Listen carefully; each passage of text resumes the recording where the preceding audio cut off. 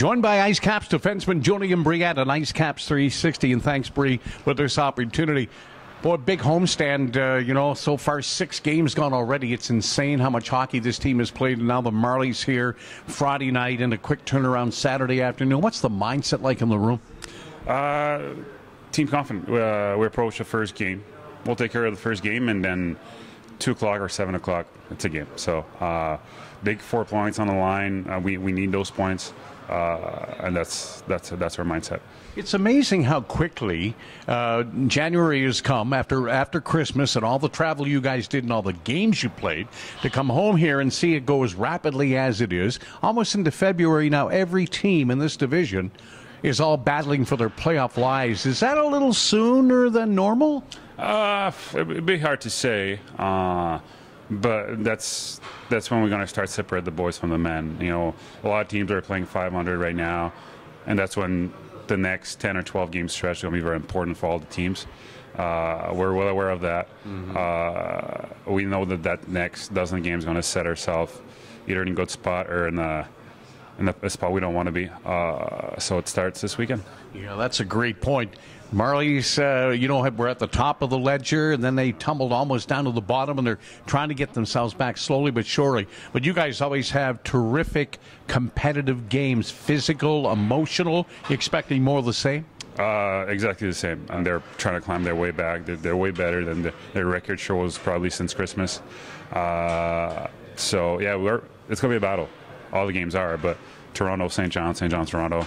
We know what that is. And especially when you see those blue and white jerseys in the crowd almost matching les Bleu Blanc Rouge.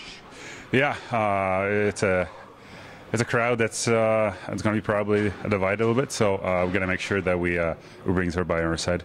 Well, Julien, obviously, after this weekend series, a much needed break for the All Star uh, game down in Lehigh Valley, and then the team will leave again on another road trip, all down to the Keystone State against three really, really good hockey clubs in the uh, Wilkes-Barre Scranton Penguins, the Hershey Bears, your former team, and the Lehigh Valley Phantoms. I don't want to look too far ahead, but is that a make it or break it trip, maybe?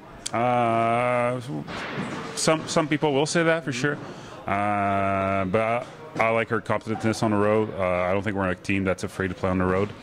Uh, and we're used to play teams back to back. So uh, we're probably going to do that a lot, seeing those Wilkes-Barre Hershey, Hershey back to back. I know it's hard to win two games in a row.